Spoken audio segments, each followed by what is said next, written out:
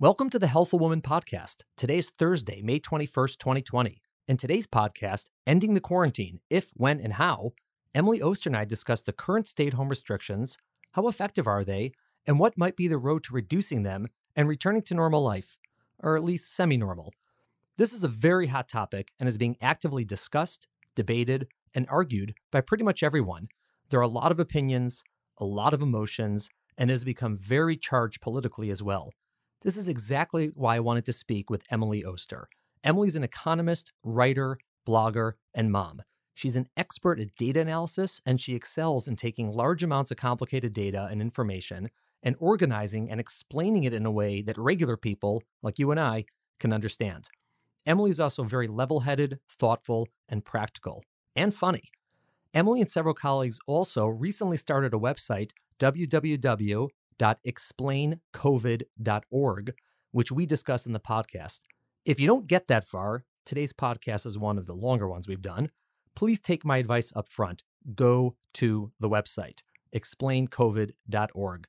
It is a data based, understandable source for COVID related topics and questions. It is now my first go to website for COVID information. I hope you enjoyed the podcast today, and I also hope we can all see each other in person sometime in the near future. We will be back on Monday, Memorial Day, when I interview my colleague, friend, and neighborhood midwife, Lauren Abrams, in We Love Midwives. Thanks again for listening to Healthful Woman. Have a great Memorial Day weekend. Welcome to today's episode of Healthful Woman, a podcast designed to explore topics in women's health at all stages of life. I'm your host, Dr. Nathan Fox an OBGYN and maternal fetal medicine specialist practicing in New York City. At Healthful Woman, I speak with leaders in the field to help you learn more about women's health, pregnancy, and wellness. Okay, we're here with Emily Oster, professor, writer, parent, blogger. You're all over the place. Emily, thanks so much I'm for coming. the place. thanks so Thanks much for, for having on. me. This is yeah, it's uh, I'm really happy you're here. I'm really excited to talk to you. You know, as I emailed you earlier this week, I think I agree with everything you say. So this won't be so controversial in terms of an argument.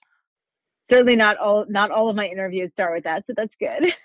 For those of you who don't know Dr. Oster, uh, Emily Oster is a professor of economics. She was the first guest on the Healthful Woman podcast related to pregnancy. Uh, it was originally going to be pregnancy in general, because uh, that is a, a, world you entered with the books that you wrote. And then it became pregnancy uh, in regards to Corona. And a lot of things we spoke about, you know, four or five weeks ago are themes that are still going on right now.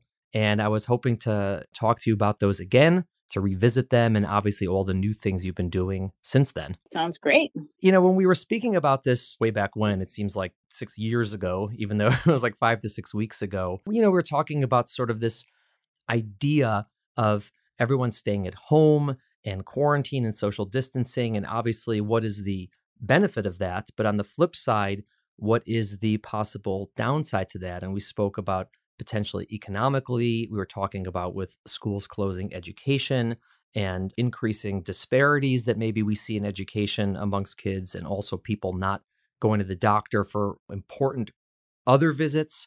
And it seems like all of that has, has come about, and we're still arguing about these things as a country. Yeah, I agree. I mean, I think that that we talked about all that stuff. I think that I probably underestimated how costly, sort of how how bad some of those things would turn out to be. And I think the thing I hadn't thought about as as much, but I think is just enormous, is is the mental health costs on kids, on adults. You know, I think people are really really struggling to just like figure out how to move forward and i i think that you know not saying that that it was wrong to do this but i think it's it's worth just you know saying like the mental health costs of of this quarantine period have been really astronomical. It's obviously just the people have more maybe anxiety because of the the disease itself because of the infection and then obviously people not being able to do their routines a lot of people not leaving their homes not getting fresh air, not getting sunshine, not having human interaction.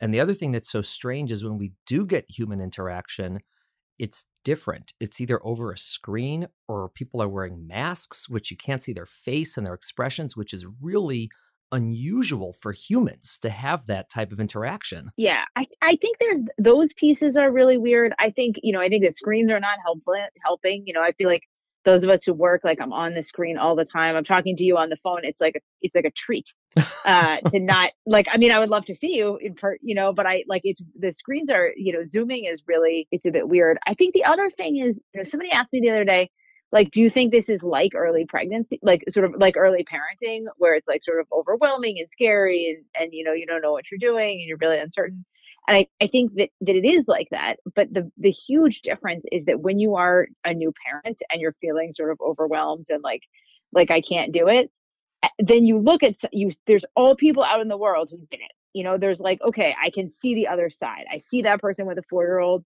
that person's four year old like puts on their own pants. Like i'm gonna get you know i'm gonna get there. Like they got there. Like i'm gonna get there. You know you have other people who are like you can do it. Yeah i know it's hard but like you can do it just like i did. But this is like there's nothing like that you know it's like everyone's like yeah i don't know could it last forever and people are like it could be like this forever it's like well that, that can't it can't be like this you know it can't be like this forever like and I think that that that piece of the uncertainty is really weighing on on people. And I think that's sort of part of it that we don't know how long this is going to last. And part of it is I think that there's been a very interesting shift in some people's thoughts about this. You know, when this originally started, the assumption was, you know, this is a virus. Viruses spread very quickly through populations. That happens all the time, particularly ones that have a lot of asymptomatic people and asymptomatic carriers. Okay, we get that, but we can't have everybody getting this at the same time because if they do, our hospital systems will be overwhelmed. And not only will there be potentially, you know, very sick people or deaths from this, it'll be compounded by the fact that we won't have enough space to take care of people and more people will die just because they're not getting the, the attention that they need. And so the thought was, okay, we're all going to hunker down and we're gonna that's how the term flattening the curve came flatten out. the curve right the flatten curve, the curve yeah, yeah. The, as we say the auc the area under the curve was going to be the same the number of people that got infected was going to be the same it was just going to be drawn out over let's say two three four months instead of two three four weeks and so that was the thought and it worked i think it's pretty clear that the hospitals did not get overwhelmed. They're obviously very busy and it was crazy but they did not run out of resources which is great. And now people are shifting and you know discussing whether we shouldn't come out because people will just get the virus. And it seems like there's been a paradigm shift that we're trying to avoid anyone from catching this now. That is that is exactly how it feels. Like we sort of started by like we're going to flatten the curve. And now it's like let's try to have no cases. And I, I you know and i think that that is both basically like impossible i mean that seems extremely difficult to to achieve particularly because all the places that have achieved that have extremely good monitoring technologies, probably much better than we can just realistically imagine. But I, I also think like that's not, you know, the, it sort of misses the recognition, which is of course not a nice thing to say, but like, you know, th- there is a global viral pandemic. Some people are going to get the virus and some people are going to get very sick with it. And now we know much more. I mean, the other thing that happened is now we know much more about how to treat, which is good. So actually, I think that the survival is likely to be much better, which makes this an even more sort of less productive way to to switch it because now like treatment is improving, things are getting better. We should in some ways be like a little more open to the possibility that people will get this because we know how to treat it. And yet it seems like there's, you know, the people who are yelling at my sister-in-law because her two-year-old wasn't wearing a mask at the park. Like that that seems like a little extreme.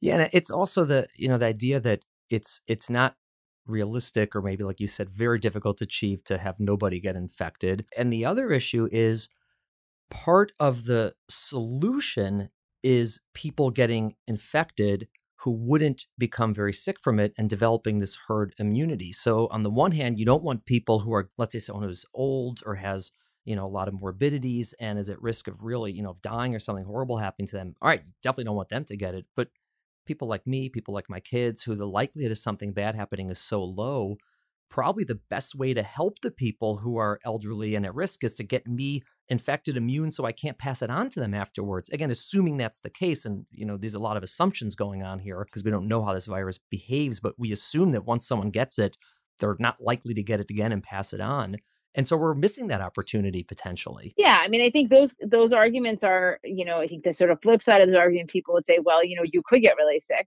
like you know if you get it like you you know some people who are like prime age adults do get really sick from this and and you know you could die and so we don't want to run have anybody run the risk to that. I think that then you want to say well you know that's true of the flu too that's true of car accidents that's true of like we're we're doing a lot of things in society that we're allowing many things to occur which carry risk of death for 45 year olds probably much higher risk actually than than this and so i think somehow the the messaging has sort of moved in a place that i think is not super consistent with many of the other choices that we appear to be comfortable making. I mean, you said something that's sort of an interesting piece of this, which is the share of the mortality that's in nursing homes.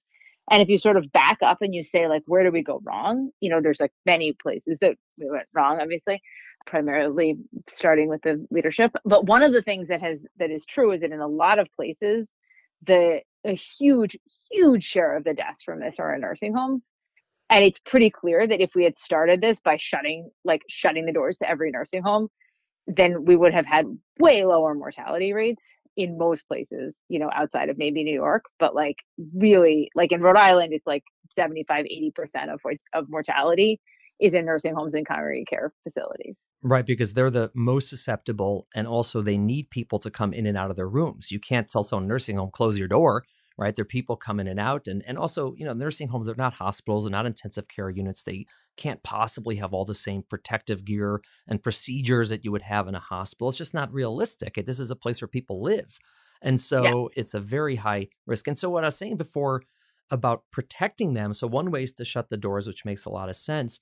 And so I agree that on an individual level, right, I can look at myself and say, okay, for me, I don't want to take that risk. I don't want to go outside, take a risk getting infected because as you said, sure I could get very sick. There's a there's a small chance and I take that choice. But when we're trying to make decisions based on a population level, like what's the best thing for hundreds of millions of people to do? Well, from a population level, you're best off taking your healthiest, least likely to get sick people, sending them out, having them get infected. Very few of them would get very sick, similar to like a flu. But then all those people are sort of like, you know, barriers for the people who are really at risk because they're not going to be passing it on to them. And then potentially you could open the doors to nursing homes and have people working there or visiting there who won't get them sick. Yeah. Yeah, absolutely. And I think, you know, we we are sort of we're not that conversation is not happening anywhere. You know, even when we talk about opening college campuses, which I'm pretty involved in here, you know, there's like there's this sort of approach to this to be like, well, look, the colleges will be fine. Like, let's just not worry too much about them. But you know, and that isn't just to be clear, that's not the approach that um that we or anyone else is is taking, but you know, it is an approach that that someone could imagine saying, you know, look, this is like a really low risk population you know we sh- we kind of should be having them sort of interact enough to to be infected because that's a group that's not going to have serious serious illness so i mean i think these are these are sort of very complicated questions and of course then one person gets sick and then you know you've like then you're that's very that's very bad so it's hard to know how we balance these risks Right. And it's hard to know how much of this is because of the 24 hour news cycle we live in now compared yeah. to before. That if CNN put up, you know, every single day someone died from the flu, if they announced yeah. it and put it on a banner below, I mean, we would all, I mean, be in a state of terror at all times because I think of this all the time with kids, right? So, like, there's been this whole discussion about Kawasaki like illness. This, I don't know, the CDC gave it some new name, people pediatric multi symptom, like basically examples of kids who have been become very sick from from COVID, which seems like it it can happen. You know, it has happened in a small number of of cases and and you know people are just like like panicked and i keep thinking like if every time a kid got was hospitalized with the flu that was the top story like people would be panicked all the time. They'd probably get the flu vaccine. But you know every like every year a few hundred kids you know a couple hundred kids die of of the flu. I mean that is like that is a thing that that happens and it's scary and it's sad and it's not something to dismiss but it's also we're not covering it the way that like every everything is being like just the it's in your face all the time. Right, and also everyone's home all the time, just watching the news. Right, watching the news, and then yeah. it, and then you're on Facebook, and someone posts it, and it's they were talking, you know, about how many lives you would save by everybody staying inside, and also you lose your perspective. So yeah, you can come up with a number, uh, 10, 20, 100, 1,000, whatever it is. You say, all right, we're saving a certain amount of lives, and then you know our governor will get on and say, you know, every life we have to save. And I mean, of course, like who's going to disagree with that? You want to save every life, but if the alternative also has costs either in hard numbers of lives lost or you know in seriously harming hundreds of thousands or millions of people and we make those sort of very complicated ethical balances every single day i mean people have swimming pools and exactly. people drown and it's awful. I mean, it's like the most horrible thing ever, but if they put that on the news every day, there would be no more swimming. There would be no more beaches. There would be no more driving in a car or taking a plane or whatever it is because everyone would just be too afraid to do anything. Uh, a comparison some people have pointed out, which I think is, you know, perhaps worth thinking about is we're saying like, you know, if even one, like if even one child was going to die of this, we wouldn't, you know, we shouldn't think about opening schools.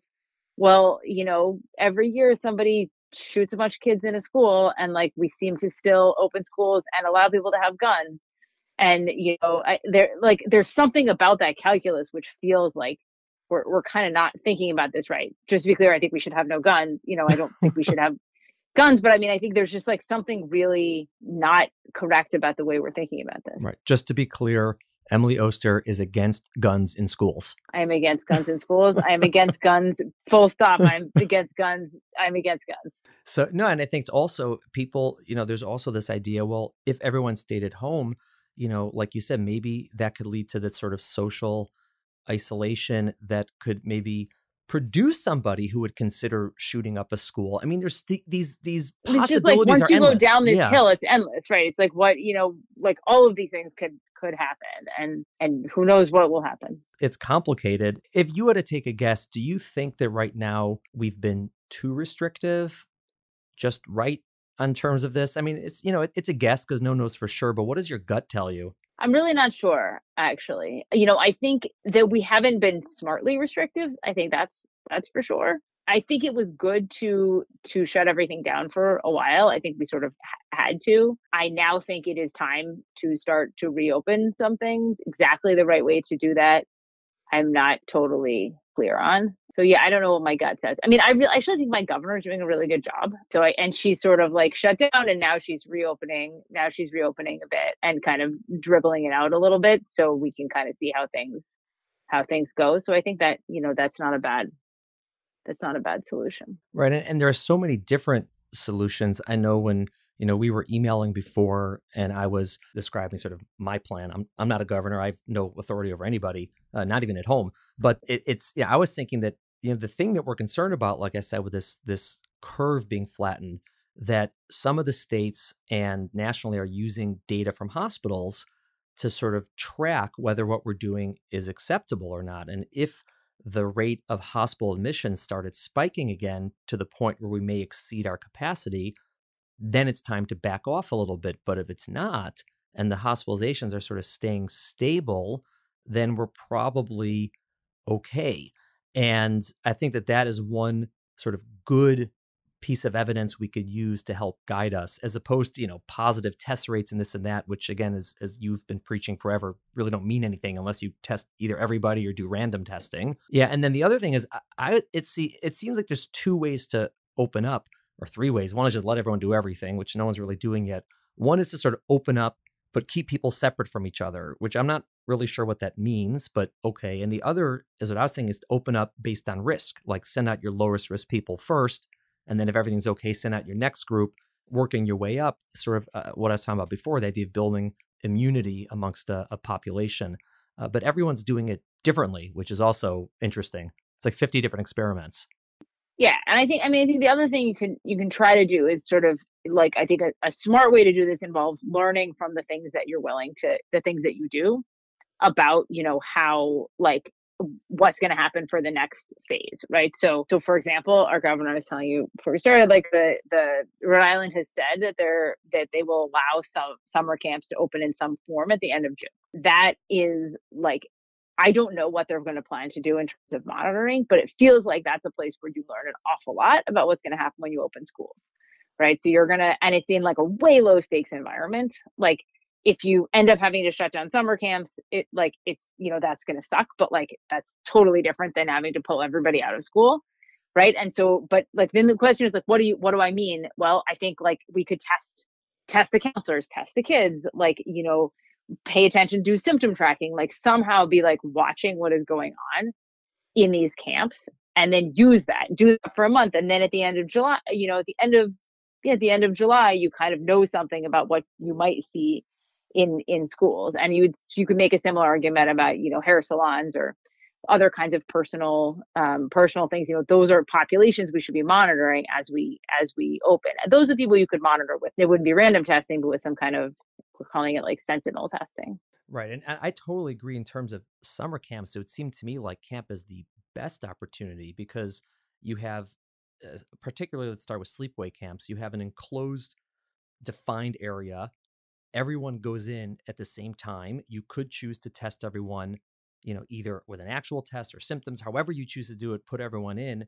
And then really no one goes in or out for an extended period of time. And so it's probably the safest way to have a bunch of people together. And the other thing is, what would those kids be doing if they weren't in camp? They're just going to be running around the neighborhood. They're going to be running around. into people who they can infect. I mean, if anything, you would, you would want to like herd up all the kids and stick them together. And this is the way to do it. And as you said, you'll also learn a lot about school. And I think probably day camps are a better assessment of what's going to be like in school because kids come and go rather than sleepaway camps. But I think sleepaway camps are the safest of all the options, followed by probably something like day camps. And we have an opportunity to do that and learn a lot this summer. And uh, honestly, I don't know what these kids would do otherwise. They're not going to stay at home in the summer. No. It's just not going to happen. No, I mean, I told I, I told my kids like if there's no camp, like you're just like I'm opening the door. I was telling my my nine year old this morning, I was like, if there's no camp, like I'm opening the door in the morning and like i'll see you later. And she was like she was like okay you can ring the bell for dinner. She's reading a lot of laura ingalls wilder. She has some idea that like she was like you can ring the bell for dinner and we'll bring our lunch. I was like okay great. That's sort of like yeah when we were growing up it was like that just just you know after school you'd be riding your bike on the block back and forth and you just show up when it got dark and that's it. That's the only time your parents heard from you. Right so maybe we'll maybe we're moving to that but i don't something tells me that there's other you know something tells me people will be like, why isn't your kid wearing a mask? What, what do you think about masks in general? I think masks are actually really super important because I think, you know, it is in fact the case that they prevent people from spreading the virus, you know, because you don't, if you have it, you don't cough, but also because I think the much bigger thing is like you don't touch your face right? So like when i like i i would wear a mask to protect myself to go grocery shopping even if it was not required by the store because like all people like i touch my face a lot. I guess i prefer not to get the coronavirus. So i think masks are masks are good. I'm not a fan of like uh, i think masks are good like when you're at a store when you're maybe close to other people who you you know like when you're like in a subway you know like in close proximity to people. This thing of like you should wear a mask when you're running uh, like by yourself or hiking in the middle of the woods like th- that's not percent necessary. And so, you know, and I think in particular, I'm not a fan of mask shaming. So when you're out running and people are like, "Why aren't you wearing a mask?" Like, I'm not running near you. I I moved to the middle of the streets to avoid you. And you know, so I think that that they're like we could take it too far and i think part of not taking it too far is trying to be clear about what the mask is doing and like why why you would wear it. Right well we have taken it too far so because there is right, there is a lot of mask shaming going on. tons of mask shaming. It's i mean yeah i made yeah. my son i made my son wear it into like i took my son into like the store on the corner to buy fruit the other day when we were out for a walk and i made him wear his like little mask. He's five. He has like a little mask it has like it has like um space. My friend my student's mom made it has like planets on it it's right. Cute. It's it it has opened up a whole new world of fashion design for totally right. Different masks. I mean, it's it's the same thing. I mean, I think that you know, I mean, I wear a mask in the office uh, with patients. You know, they wear masks, we wear masks because you know that's also much. It's a higher risk situation. People are more afraid, and you know, we're we're we are close to each other, and and everyone's on board with that. That makes sense.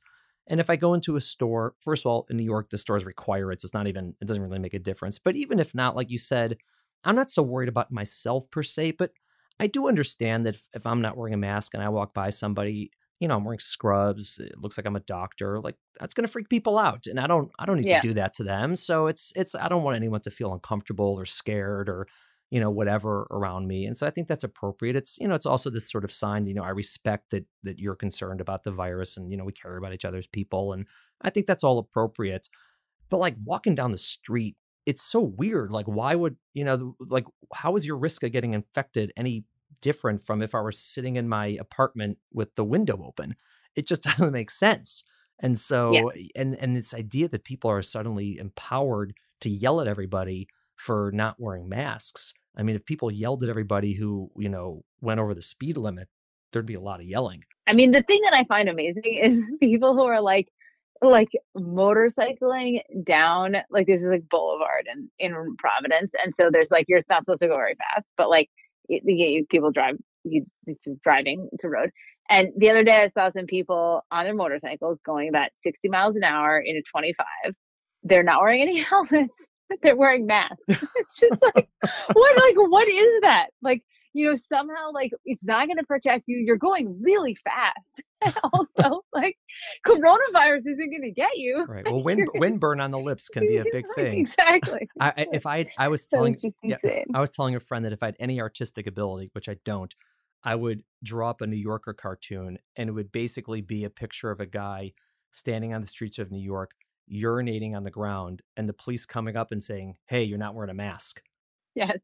I totally exactly right. It's like we've sort of taken it, we've taken it far. And do you, do you feel the same way about all the social distancing, about being six feet six feet away from people, not allowing people into stores over a certain amount, all the tape on the floor, all of sort of the you know uh, ideas and people saying you know don't go near me, don't go near me. There's like a kernel of something good, like good good there, which is you know if you were thinking like when people ask me like how you know i'm going to see like my older parents like what could i like what can i do to make this is to make it possible to do that?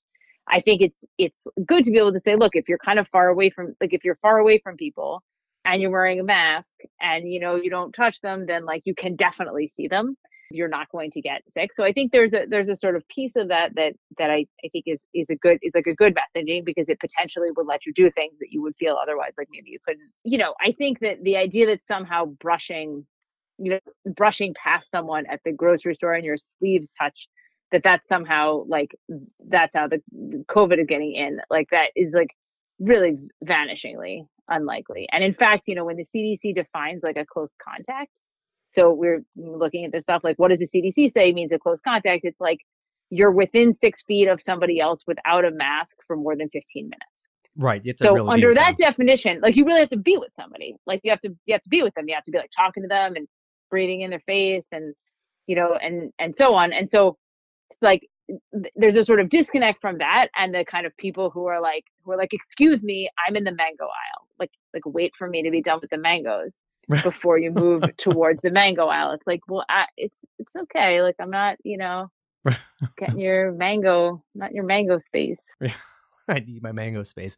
You know, and you know what's what I find so interesting is so, you know, I'm a physician. You you you do data analysis all the time, and you know we're talking about this, and we have opinions, but you know neither of us know the right thing, and we're saying, you know, we're guessing, yeah. we think maybe this, maybe yeah. that, and but what happens is there's decisions that are being made for massive amounts of people by government and again I, I, the intentions are obviously great i don't think anyone's you know being nefarious here i think they're trying to do what's best but there's now also these like legal challenges to it because the flip side of this is you know all these restrictions are in actuality removing away liberties that you know are guaranteed by the constitution and so obviously they don't they don't they don't you know exist at all times right? They're allowed to put up stop signs and tell us i can't drive right through it even though you know in theory i would have the right to do whatever i want.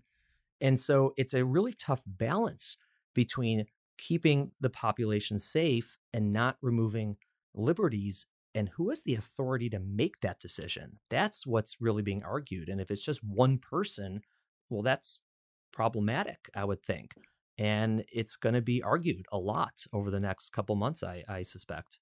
Yeah i mean you're already seeing this in some of these places where you know the governors and the state legislatures are kind of like having it out over who's who is right and i think part of what has part of what has happened is like some of the restrictions that people put in early on and did not walk back on were very were like pretty pretty extreme you know so at some point i think that like the in in Michigan they said like you can't go out on your boat and you can't like garden. I think people felt like what like gardening it like in my yard. Like what in what sense is that spreading the coronavirus to other people? You know, like that's not like that's that there's like no theory under which that is true. And so then of course like that you you sort of lose the good messaging there, right? The idea that like you shouldn't just, you know, go like to a beach party right. with everybody that you've ever met and like lick their faces, right? So somehow like we sort of got into a place where people stopped listening to the good stuff because they were sort of occupied by the the the sort of crazy the crazy versions and then the legislature comes in and so i think we're going to see a lot of a, a lot of arguments or dis- disagreements i don't know like how i would put it like a lot of litigation about who is actually in charge yeah i mean state is the federal is the city reasonable people sort of understand the need for someone to have the ability to put the you know put the brakes on certain things in order to keep people safe but the question is exactly how that's done and who does it I think everyone disagrees on. And it hasn't, I mean, these things aren't really worked out because these things don't happen so often. And usually everyone's going to agree with certain things. But once it starts getting, you know, like you said, the, the, the details people disagree on, number one, they're going to argue it. And number two, like you said, they're going to sort of lose some of the other bigger picture things because we're thinking about all those smaller details and it'll lose its its effectiveness. I remember you said this at the very beginning. If you tell everyone to stay home all the time, it just won't work you have to sort of give people something that's realistic in order for them to follow that because uh, it's it's usually all or none yeah and i think we also have to be careful about like like aligning the messaging right so there was like so at, at some point this the city of providence and the state of rhode island which are just to be clear like like this is not a big place they had different rules about parks and the city said that like city you know the, the governor said you couldn't like use your you couldn't bring your car into parks but you could walk around them. And the city decided that you shouldn't be able to walk in parks. And then it was sort of people were like, well, like why? You know, what is it about, you know, what like what does she know that he doesn't? You know, what does he know that she doesn't know? Like what like why are they disagreeing about this? And I think the answer was like nobody had any particular idea about whether that was safe or not safe and how to and how to organize that. But but you know, that kind of disconnected messaging across states between you know municipalities and states between businesses or you know firms and states or cities like that makes it really hard for people to parse what's going on yeah, and we had that in new york i mean there was new york city new yes. york state the cdc then there's you know new jersey and every community and their departments of health were saying different things the messages have gotten more aligned over the past six weeks i think at least in in our region it's gotten better up at the beginning, it was really very different and confusing. I mean, if you know, one Department of Health said stay at home for two weeks, another one said stay at home for a week, other one said you're fine to go out, and you're like, huh? it was, it's like, right. what do I do? It's very strange. And I, one of the other things we spoke about, which really, you know, came to light, was this idea of people not getting regular health care because they were too afraid yes. to leave their homes. And I mean, I think that's been a real problem yeah i mean we've seen like you know even like er visits in uh in rhode island have been down like 50% or so. i mean like you know people are not even like even because even though there is a, a viral pandemic er visits are still down like a huge share yeah and people are you know people are not vaccinating their kids because they don't want to go in for a well visit you know people are not getting kind of surgeries that really we would consider like maybe they're not essential but like they're pretty you know, they're pretty important. Yeah, preventative care is a huge one. I mean, you're talking about a two to three month break in preventative care. And again, most people who go for their preventative care checkups, their well visits, whatever, are fine. And so, yeah, for them, it doesn't matter if they waited three months. But what if you do have breast cancer and it's picked up?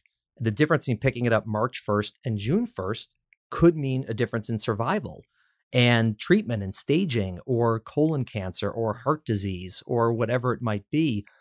And those, how to add that to the calculus, you won't know for five to 10 years potentially.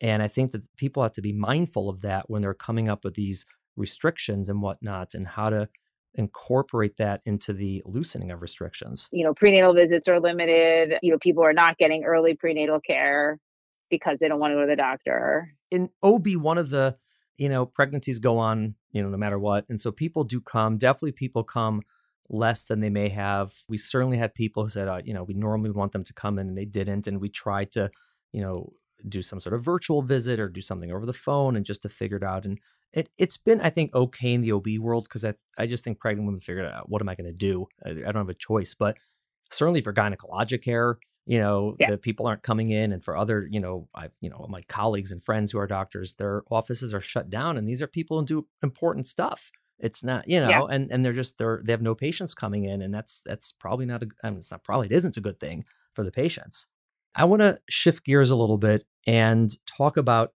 what you are doing about this. So one of the things that, you know, I really adore about you is not only do I like talking to and, you know, it's just you're so interesting, but you also are someone who acts and you try to get information out there. You do research, you know, you collect the data, you analyze the data, you think about the data, you know, you sort of distill it and put it out in a way that people can understand it, and then you bring it out to people. So, which is what you did for pregnancy, which is how we first met, which I thought was awesome, as you know. And now you are all over this, you know, all over COVID. you're all over COVID. And you have a website that you and others started, which is www.explaincovid.org. So tell me about that. What prompted you to do this? I mean, I've been thinking a lot about COVID, like we all are. And, you know, it's at some point, my um, a friend of mine basically called and was like, "Look, I think that there's a dearth of information about how this is actually working, like a dearth of like scientific knowledge among people, and the people who do the good science are not good at explaining the science." like they you know when you put the the science people on like the sort of immunologists like virologists the people who are like actually doing the cutting edge stuff when you put them on tv like they can't really explain what they're doing in a way that people can can understand and so the the voices are going to the sort of voices we're hearing are people who don't really know everything that's going on. There's a lot of inform- misinformation there's just a lot of like misunderstandings. You know the example i always give is i think that you know there are definitely people who think like if you go to whole foods and someone has covid and they have touched a salad box and three weeks you know three hours later you come and you touch that salad box that you die for sure. Like that seems to be like some of like some there are people it's sort of like that's not that's not a, that's reflecting like among other things a sort of poor understanding of how like the virus operates. And so she said you know like i think like can i partner? You know it seems like this is a thing that that you do which is like explain try to explain science to to people. That's like my thing. She said, you know, can I partner you with this person at, like, at least introduce you to this person at, at uh, his name is Galit Alter, who's a professor at, who's at MGH. And she sort of is doing like kind of cutting edge stuff and has a big lab and does all kinds of stuff about serology, serological testing. So we started talking and then sort of very quickly got to like, okay, let's just put something together that's like a super simple, like if you go to the website, it's just like black and white text. um, and so, but it's really just trying to like explain in a way that hopefully people can understand you know, like what is the path of the virus? Like what has to happen for you to become infected, to become exposed, you know, exposed, to be infected? What happens if you get sick? How does it work? You know, how can you get it? And then sort of using things like that into the to move into the questions of why would you need to wash your hands?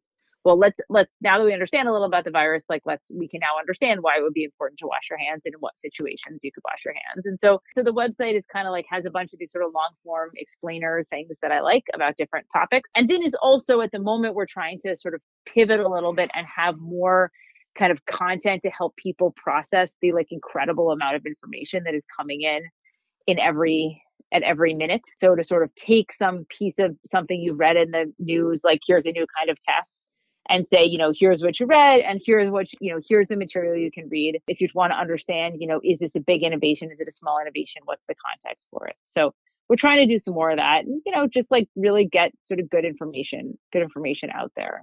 It's so important. First of all, I'm I I love the website. I have no royalties here. I have nothing. I, I just go on the website. I, I really enjoy it. And I think the important aspects of the website are number one, as you said, it's clear, like it's it's understandable. It's written for regular folk. It's this is not high. It's not high jargon. It's not high medical. It's not dumbed down. It's it's just regular as you would want it to be explained in a very straightforward fashion, which is important, obviously. Like you said, not everyone can do that. And so the fact that you're able to do that and people can read it and understand is great. But number two, it's not just an opinion, right? This isn't, you know, what does yeah. Emily think about COVID? You're talking about, okay, here are the studies that are out there. Here's what we know. Here's how the studies are good. Here's how the studies are flawed. You know, what are the things we know? What are the things we don't know? What are the things that we think we know? And try and put things into context so people can understand where where this is coming from. That it's not just, oh, hey, I think this, and I'm going to write it down in a way that people understand. It's actually based on data, again, because that's sort of what you're living and breathing, which is great. And the other thing is, it's probably at least what I found, the best place to go is sort of the, the front lines for how to understand something. Because, you know, if you get something from a news website or a news piece, you know, on, you know, on the radio or on the television, it's always, you know, meant to either entertain or to you know you know sort of scare or whatever it is to get people's attention you don't really get that if you go to the real hardcore science like you said it, it's sort of out of context you don't understand what's going on it's hard to read and so for example like i have a lot of people are asking me now about this you know kawasaki like illness in yeah. kids and what do i think about it and you know i can tell them what i think about it but you know so what i went on today is i went to your website and i pulled up that page at you and you explain it and I was like, this is exactly how I explain it to people. And this is where I'm going to tell them to go. Like, read this. It'll explain what it is. It'll explain why it's important. It'll put it into context in terms of is this really something we should all be, you know, burying ourselves in our backyard because of or not? And it's just the best way to get that as opposed to just typing it in Google which you can you know can lead you down very scary rabbit holes. yeah yeah thank you. That is that is good. That is what we're going for. I'm you know i think part of what has been sort of interesting for me about this is when i write you know when i write my books or like the when i write my newsletter there's it's not that those things are my are my opinion but they are much more my sort of voice and their material that i myself like even sort of more comfortable with. In, in the case of of this covid stuff actually there's a ton of like much of the team is made up of like experts and so my role is a much more translational role. So like when we put together that kawasaki thing i have like a slack channel of like people with basically who are doctors and phds and you know postdocs and all you know professors whatever. And i was like okay th- you know this is the entry we're doing. Like everybody tell me like what what are we saying you know what are we saying about this Right. And then people like tell, you know, like everybody's kind of arguing, whatever. And then, you know, I kind of pull it together and then I send every like, okay, here's the Google Doc and everybody sort of tries to edit it. And and so it's been it's been a really interesting to me to try to fulfill that translation role while actually having other people produce a bunch of the sort of a bunch of the of the content and and sort of give me the science and then have me translated it's been kind of it's been kind of fun. Right because like you said you're not a, like you're not, yeah you're not a virologist or an immunologist. Right. i mean and I'm you're, not an, you're an, an economist. like yeah. I'm not an ob either fyi um but you know with the with the pregnancy stuff partly like i had a, a, a much longer of course i had obs that like helped on that also but i had a much longer time and those books are written like the books are written much more as a sort of like here sort of like here is like a through my here is some in the data that sort of comes through my experience whereas the the COVID stuff is much more like, you know, I don't have any, I haven't had COVID uh, that I know of. And, you know, this is sort of just like, here is how a virus works. Right. The virion, it has its stuff on the outside. It's like, I mean, I feel like I've been like telling my daughter all about this. She was like, that's not that. I don't know. She was interested for like a few days. like, okay, we talk about something else. Right. Pokemon. And it's also different because, you know, when you wrote your books on pregnancy and on parenthood, you're it's more of a sort of a comprehensive dive into things that a lot of people have studied and you're putting it all together. But for you know the covid stuff everyone's doing this on the fly. This the data that's coming out is all fresh. It's all new. We don't have old data on this or you know old studies. I mean the oldest studies we have are from you know china from two months ago as opposed to from two weeks ago and that's it. Yeah. And so and so no and yeah. the big the basic facts are like impossible to get right? Like we're writing this kawasaki kids thing and i was just like okay let me try to figure out how many people like right. have that. No, no idea. like whereas you know when you do pregnancy, like I can complain, like oh you know this study isn't as good as I would like, but at least I know like how many people are in the study. like that I can learn. It's it's really hard. I mean, I'm one of my roles, you know, academically is I'm an editor for for an OB journal, and they have this sort of rapid review process that they're doing for COVID related submissions because normally from submission to publications you know five months or this or that and obviously people want the data out sooner but they want it reviewed and you know do all this stuff. So we're just sort of decreasing the time that it takes to review these papers and you know do peer review and whatnot. And so when i there's so many submissions that are coming in and when i look at them part of the problem is like okay we have this many women but what's the denominator?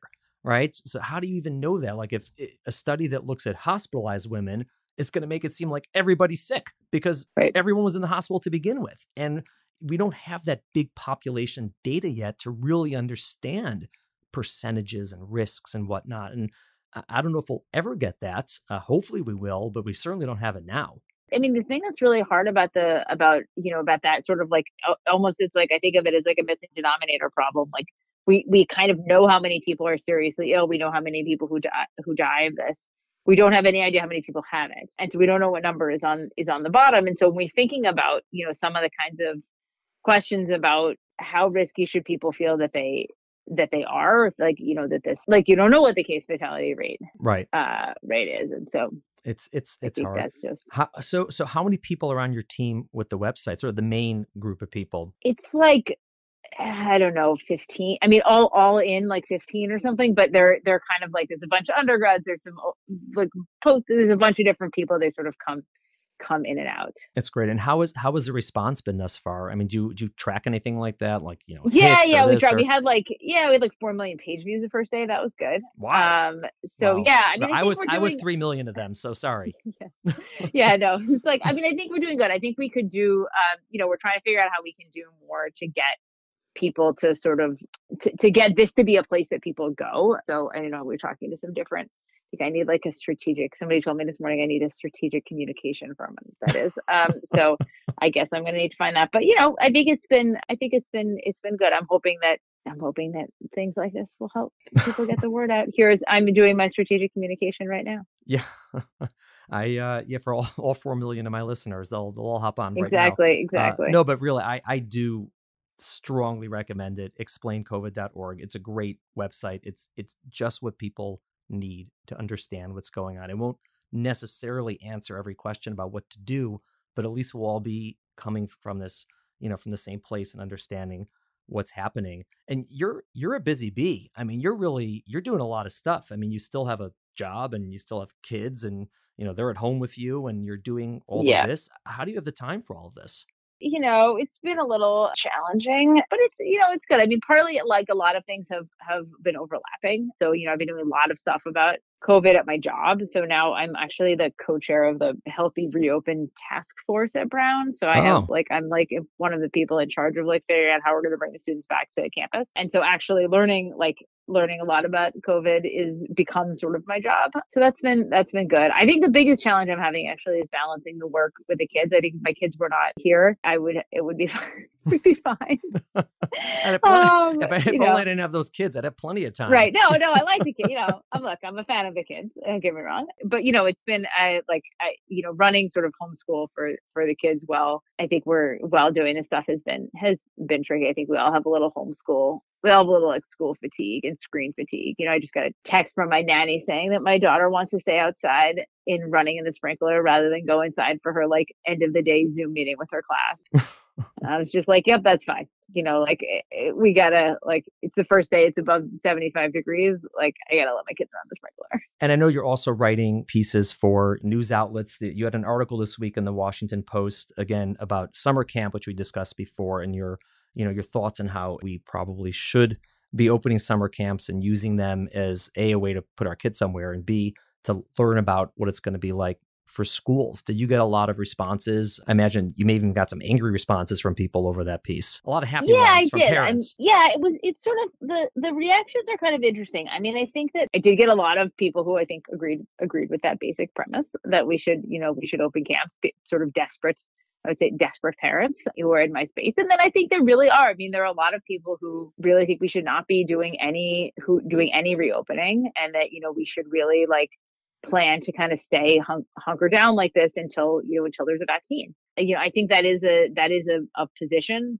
that that one could have and, and those people definitely do not, you know, they definitely think that I want to kill people. it's so hard and everyone has their own opinion obviously and you know it's just it gets very emotional and this idea that someone who you know thinks we should be reopening whether it's schools or camps or economy or whatever that somehow these people are you know just in it for money or their own interests or they don't care about people or they want to kill people it's just it's really just not fair it's not right and on the flip side you know people who you know are advocating that we should be you know staying at home and doing all these things that they don't care about poverty or whatever you know uh, people being out of work and this i think that's also not fair i think people are scared and when people are scared they make decisions sometimes that aren't as rational as they normally would and even if they are rational it's very hard they get they get emotional over the alternative opinion if you're scared Yeah. And I think that they, you know, it's it's I think it is the the fear the fear aspect of this is driving a lot of people. And I think there is in some ways a big distinction between people who are who are really like afraid themselves of getting the the virus and people who are, you know, not that anyone wants to, but sort of less like experiencing less personal fear about that whether it's because they're in a lower risk group or whether it's just that like you know people differ in their in their reaction to this. And i think that is coloring a lot of people's the way that people are are interacting with with this. Right. I think the other thing is you know pe- like some people find this e- easier than easier than others either because of the way their personality is or because of you know their personal circumstances or you know whatever it is like some people for some people this is you know staying at home until january is kind of annoying but like whatever.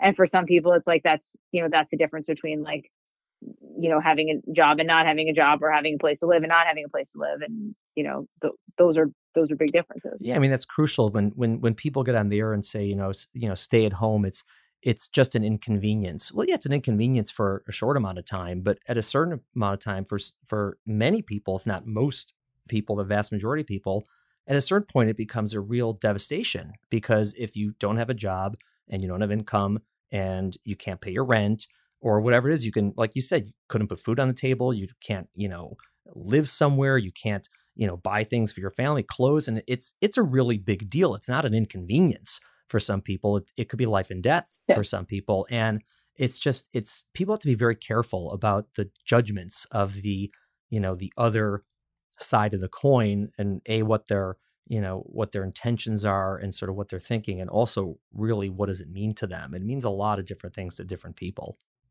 Yeah.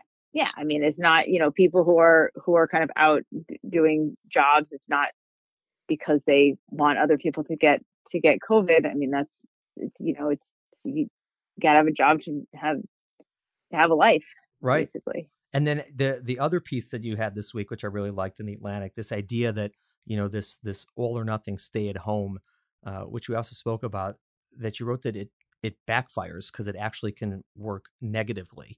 And can you just explain that what you what you were talking about in that article?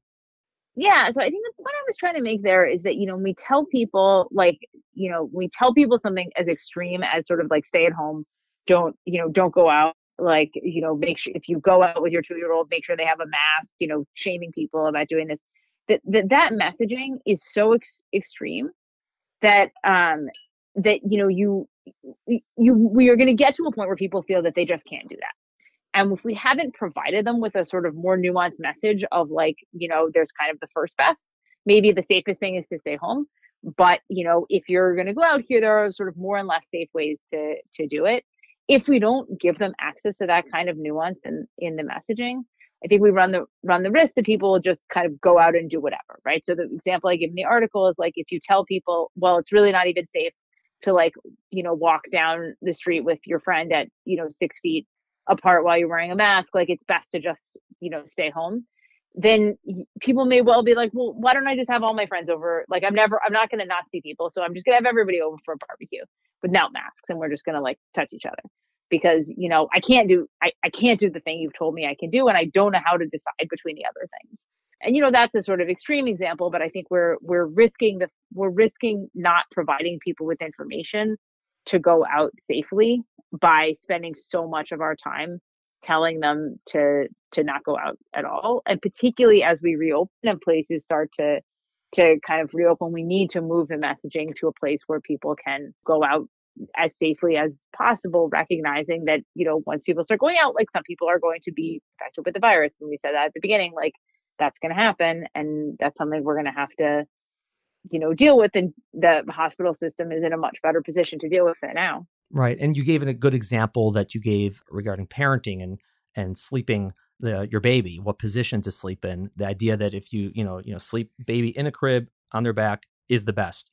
But if you don't give any other you know nuances to that they'll say well if i can't do that i'll just you know put the kid in this position which is going to be the worst one yeah exactly that like we you know people may find themselves in a situation where they basically where you know they basically feel like they can't like if you tell me like you can't have your baby in in the bed with you they have to be in the crib that's the only thing if it if you think like i i but i just can't do that my baby won't sleep there and like i haven't slept in three days and i i have to do something you know, we we get people sleeping in much less safe situations, maybe falling asleep with the baby on the sofa, which is much worse than than sharing the bed. So I think we, you know, we there the same kind of thing applies. Like we need to do messaging that that helps people understand the the scope of the trade offs. And you know, if you can't do the thing we're telling you is the safest, what is the next best thing to do?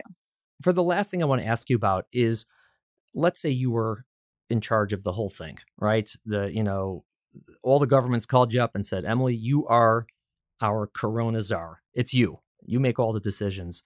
How would you envision reopening, you know, ending the quarantine, you know, if we should do it, when we should do it, how we should do it? What would be the best way that you've come up with in your head? I'm pretty focused on I would be pretty focused on on like testing monitoring using testing in a smart way to try to figure out how our reopen is is going and so i think that would be a big piece of it i think the the piece that i would have drawn from your um from from what you what you the ideas that that you sent me at, at some point is the is the issue of sort of like opening up for lower risk groups first which i think is some of what's happened in in europe. So you know i would be pretty aggressive about opening stuff for kids and for and for young people again you know with a fair amount of monitoring of how it's going. I would do that you know way before i would open nursing homes. So i think th- those are sort of the two pieces that i would be kind of most focused on. But you know i think it's a hard i mean it's a it's a hard problem and i sort of see because i interact with the state a lot in with with rhode island you know how do you kind of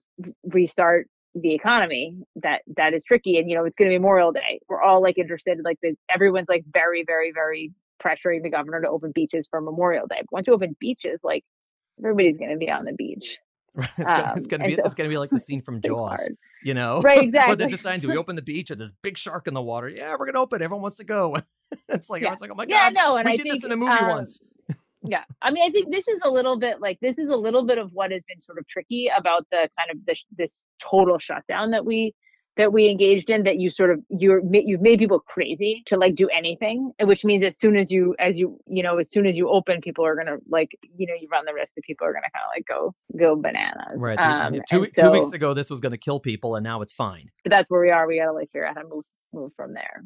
Wow. Well listen i i totally agree this is this is complicated stuff and i don't know where we're going to be what we're going to do. I you know i have opinions about this also but you know whatever my opinions are my opinions but i do think that the what you know people can learn so much from getting good information which is why i'm so i'm always so happy to talk to you and to have you on because you do really excel at taking information that's complicated and that's vast and putting it into a way people can understand it and really learn something from it. And you do that in your books, you do that in your articles. You're very level headed. And your website, again, you and others, explaincovid.org, is a fantastic resource for all of us to use. And I really thank you for doing it and for putting the work into it and for trying to help all of us get through this in the safest and most reasonable way possible. And I obviously look forward to continue to talk to you about this. Hopefully not forever. We can maybe go back to pregnancy at right. some point. I would love to go back to pregnancy, but uh but I'd also, you know, I always like to I always like to talk. So it's always a treat. Stay safe, you and your family. Thank I you, hope, you too. Yeah, I hope summer works. I hope you get to go to summer camp and oh you gosh, know enjoy. we'll be in Me touch. too. All right. Thanks so much. Have a great weekend. Thank you. You too. Thank you for listening to the Healthful Woman podcast. To learn more about our podcast, please visit our website at www.healthfulwoman.com. That's H E A L T H F U L W O M A N.com. If you have any questions about this podcast or any other topic you would like us to address, please feel free to email us at hw at healthfulwoman.com. Have a great day. The information discussed in Healthful Woman is intended for educational uses only and does not replace medical care from your physician. Healthful Woman is meant to expand your knowledge of women's health and does not replace ongoing care from your regular physician or gynecologist. We encourage you to speak with your doctor about specific diagnoses and treatment options for an effective treatment plan.